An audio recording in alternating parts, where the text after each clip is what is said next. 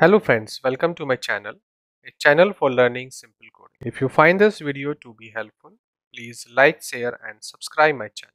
From this video, I am starting a brand new series on Next.js with a TypeScript.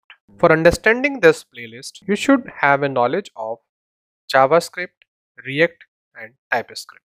So on my channel, Dr. Vipin Classes, I have 958 videos on different different technology like I have videos on Android mobile application development with Kotlin, with Java, with Jetpack Compose. I have a playlist on Next.js and MERN series like Next.js full stack developer that is based on JavaScript. This series is also here you see in which we have more than 60 video I have that is all about on Next.js with JavaScript. For understanding a new series with a TypeScript, you should have a knowledge of TypeScript also for TypeScript, I have 19 videos separately. If you watch those videos, then you will understand what is the meaning of TypeScript and why we require this. Not only that, I have the separate videos on uh, React also, React Native also, React Native with TypeScript, React with Material UI. There are so many playlists are available here to understand this playlist also.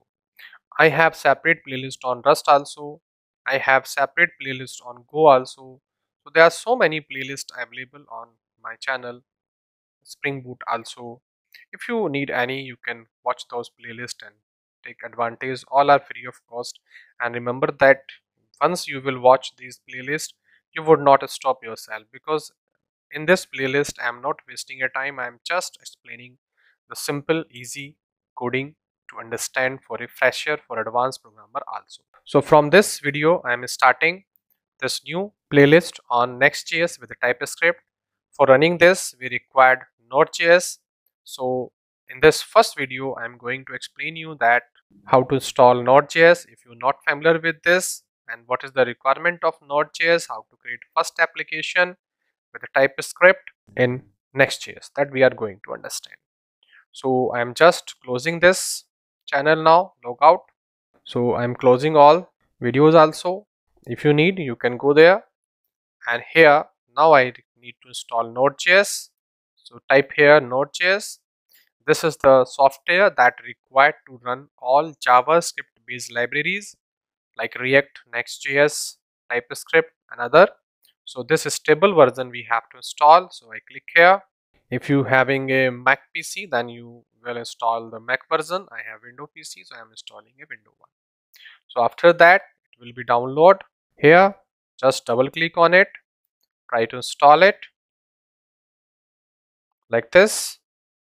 I have already installed. So you can repair yourself also if you don't have. So I can say repair because I have already installed. So you need to install it. So freshly I am installing it. You can install one time. Nothing special in it. Just double click. Next next next and will finish the installation. You see installation is finished. So click on finish button. I am removing it into recycle bin because installation is done.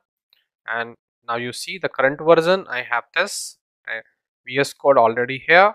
So if I type here node v it will display current version 20 and 11 that is the latest one. Just I install in front of you. Now remember that? So we have learned how to install this and why we require Node.js? Because all the applications based on JavaScript like React, Next.js, TypeScript, Node.js all run on this Node.js software. Remember that. Now we have to create a new project for Next.js with TypeScript. So here I say npx create next app. Remember that. Now application name. So I say yt YouTube next TypeScript like this in short I can give press enter and it will ask some question. We have to give the answer of those. So it asking do you want to use TypeScript? I say yes because I am using TypeScript here. Then it's saying you want to use this? ESLint yes we want to use. Do you want to use Tailwind yes because in this in this series I am using Tailwind in place of Bootstrap. Now you see do you want source directory? I say yes do you want app router? Yes because that's the latest one. So do you want to customize the aliases no.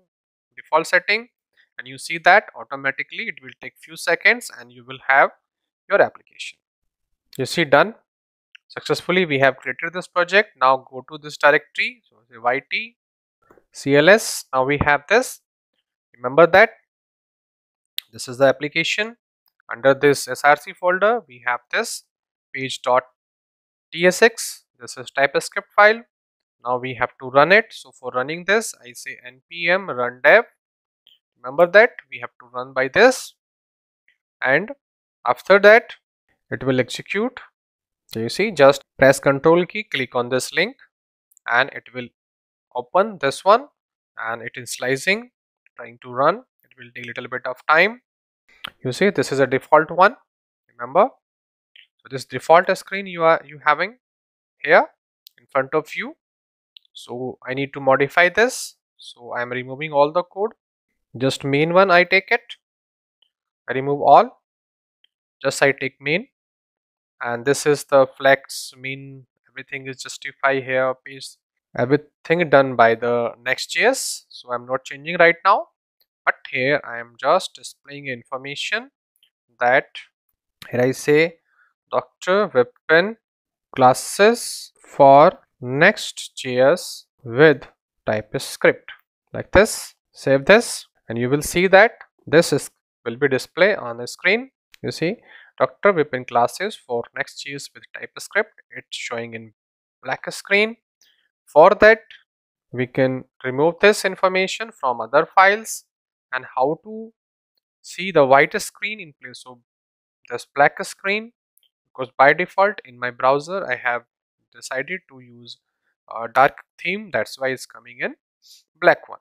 But if how you can transfer this black one to white one and how you can modify it here the tailwind css because this is tailwind by default is using here.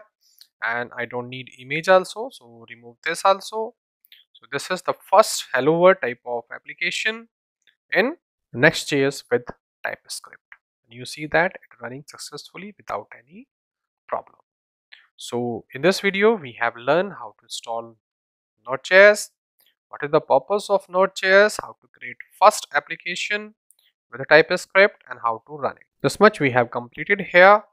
In next video, we are going to understand what is the directory structure of this, what is the meaning of all these files and folder in this that we are going to understand in next video.